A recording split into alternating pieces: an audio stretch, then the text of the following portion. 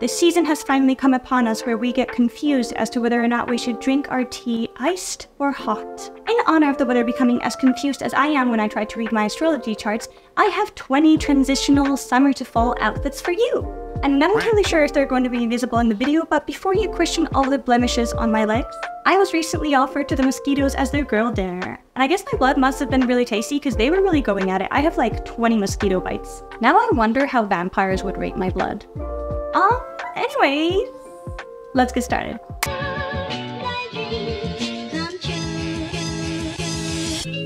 Of course, I'm starting off by using a literal thrift flipped former Oktoberfest, now wannabe cottagecore dress, and a vintage cropped blazer. But first, excuse the excessive hair tucking, I am currently growing out my bangs and they literally won't fucking stay out of my face unless I tie them like my mom used to tie my hair when I was a kid, which is not flattering, I know. Point being, all you gotta do is put the blazer on if you get too cold at night. This one's obviously for the warmer days for those of you who get a non-existent fall and winter. I don't know if I should pity you or if I should pity myself. I'm a little jealous, I'm not gonna lie, because I love warm weather. I think it's a very cute combination, though let's be real, the chances of me wearing heels in New York City are very low. Most days I prefer to choose life and not breaking my ankles. So you know how we just had the Euro summer fashion trend? Well, let's not forget about the classic sweater around the shoulders trick that most European countries have adopted in some form or another. Basically, the sweater acts as a classy prop for your outfit until you actually need it, in which case you can just simply put it on. Voila! This is literally the easiest concept to copy and paste across different outfits, and it helps you avoid having to carry your sweater in your arms all day. Here's a trick for my colder climate friends. If you don't want your top to be too hot, you can focus your heat source on your feet. Oh ho ho, so smart of me. You could go hardcore like in my example and wear boots beneath or on top of your pants or just wear ankle length boots. We could keep it like this or add a little bit more heat by adding an oversized button up on top. I'm telling you, button ups are staple transitional items to have in your closet because they're classy yet lightweight. And if you live in a place like New York City, it's also a great subway shirt. Unfortunately, subway shirts are a thing here thanks to patriarchy and the subway rats that we call men. This one's for my artsy friends who just love a comfy fit that keeps you warm while still adjusting to the changes in weather. The dungarees are not only functional but also cute. Look at these! While the turtleneck and boots actually keep you from freezing your bum. In all realness though, I'm not even sure if this contraption is called dungarees, overalls, or a jumper, and upon googling it, I got even more confused. Either way, a cute outfit, it feels kind of Wes Anderson-ish, I think.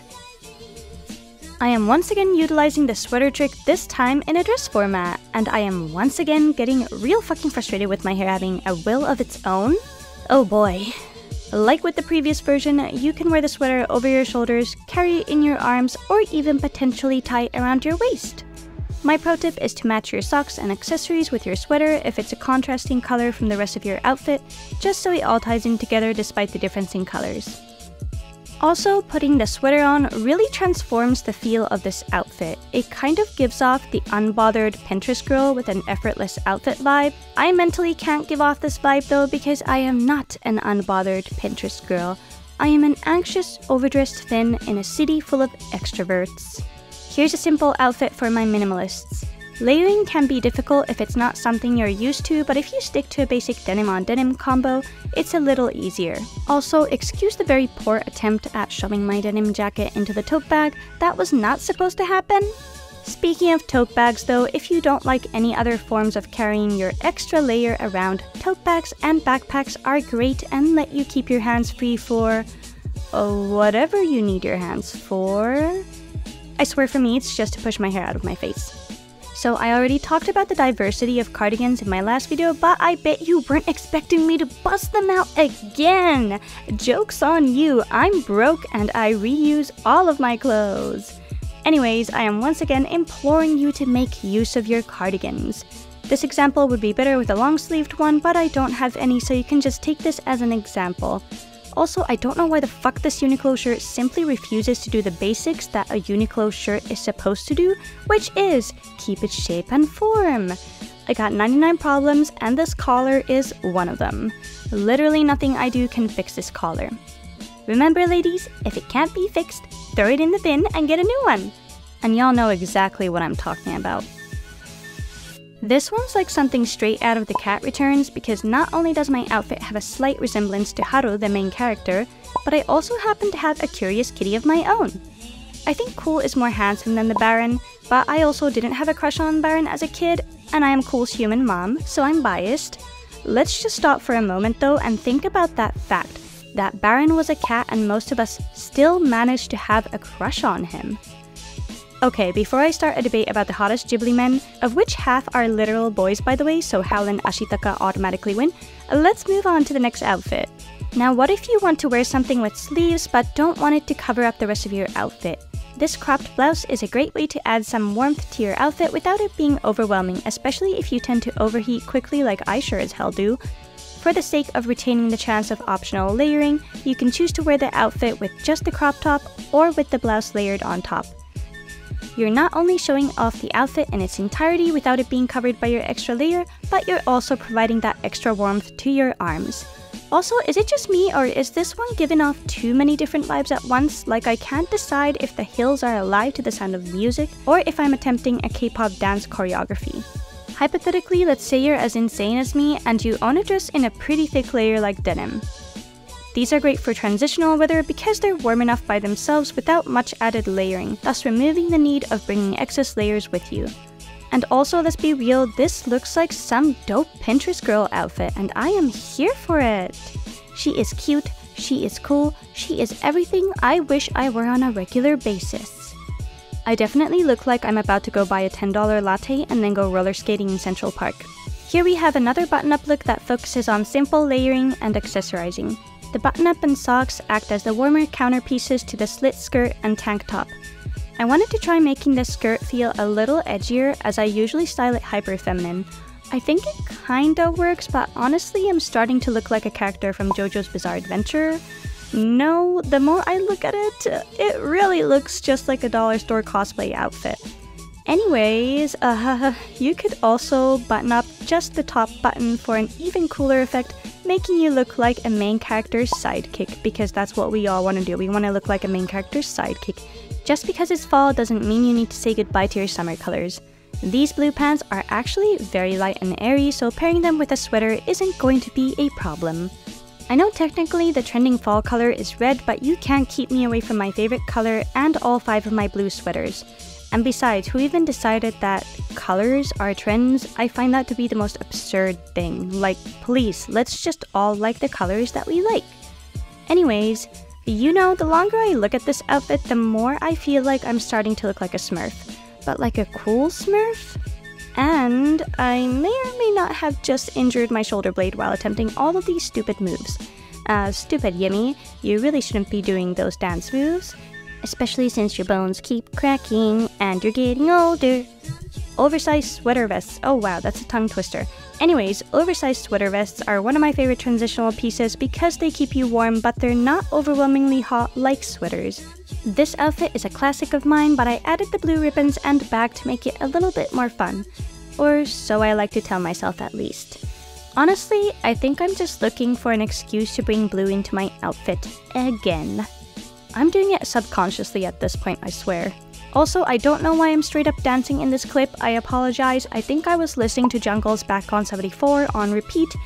If someone told the 15 year old me that I would be wearing shrugs as an adult, I would probably have gasped and slapped them across the face because the 2010s shrug fashion damaged my brain permanently. This one's pretty cute though, as it only goes around the arms and is better for days when it's not too cold. Also, I'm fully aware this is not in fall colors, but I'm not going to stop wearing my cute pink dresses just because fall is coming. I think this outfit is very cute though. I'm sure the subway rats would approve. You know what? Disregard what I just said because I felt like you guys deserved some darker outfits too. Uh, this is the outfit I'd wear just to one day have a girl in a subway car look at me and say, I like your style. I think at this point I'm just trying to convince myself to believe I'm cool enough to pull off outfits like this. Also, apologies for not showing off the backside of the outfit, but it turns out the camera got a fuck ton of footage of my actual cheeks out and I wasn't trying to scare you guys away with that footage. Oh, you thought I was done with the oversized shirts? Nuh-uh, I will make you sick and tired of them. Though I must admit, half of these are actually my partner's and he has no idea I'm using them for this video. Also, how very rude of Paws to not come sit on my lap even though he got an official invite. I've recently renamed him Paws the Pootie because these days when I edit my videos he comes to sit on my lap and then he just rips one, and it smells so foul. TMI pet stories folks. Anyways, this Moomin shirt represents my general attitude during this wonderful Mercury in retrograde. I don't know much about astrology, but I know that as a Virgo, I'm supposed to be suffering literally until the day of my birthday. So that's fun. Basically, this outfit is just me representing the mood of this season for fellow Virgos. RIP, folks. Let's try to survive. So, you know how in 2020 there was this obsession with oversized sweaters with the collar cutout shirts layered underneath them? Well, this is the same concept except reversed. I'm getting to utilize my summer shirt and shorts while staying warm thanks to the boots and the cutout shirt. I like this combo especially because like with the shrug, the shirt doesn't take away from the rest of the outfit. Obviously, this outfit works better for warmer weather, but you could always add a light coat on top if you wanted to make it more fall weather appropriate. And this one is also mosquito approved for their girl dinner. I know because I wore these shorts when they got their free food courtesy of me. This is what I would call one of my very many attempts at being a wannabe coquette girly. This feels like something Cher from Clueless would wear, so maybe I was unconsciously channeling that 90s popular girl look. I actually have no idea about that because I think my sister was a popular girl in the late 90s, but when I was in school, I was just a universally bullied girl. Like, even those bullied by the bullies bullied me. It was very baffling. Okay, that's enough trauma dumping on YouTube. Anyways, the warm fuzzy cardigans and tights make the outfit warm and easily wearable in this shifty weather. This one's for my video game geeks and comfy attire friends. Of course, I found an excuse to showcase my Final Fantasy X shirt. That game is what got me through some very dark times in my youth, and I also recently went to see the Final Fantasy concert in New York City, which was so amazing, and my friend watched me cry so hard that I looked like somebody punched me in the eyes. Now erase that from your memory and think about the fact that the sheer turtleneck provides a bit of warmth, but not exceedingly so, and the joggers are made of light material so they're comfy and breathable. Also, not me straight up almost breaking my ankle on camera, gosh, Yemi, do better. The final outfit is my cottagecore girly attempts to look city chic outfit. Excuse the extremely strange footage, I think at this point, the two hours of filming fatigue was really kicking in, and um, yeah, I have no excuses. My last brain cell was working really hard not to die on me. Also, I have a feeling this is when I started getting sick because voiceover Yemi is literally struggling with sneezing every two seconds right now, if you couldn't already tell. In fact, I think I'm about to get another sneeze.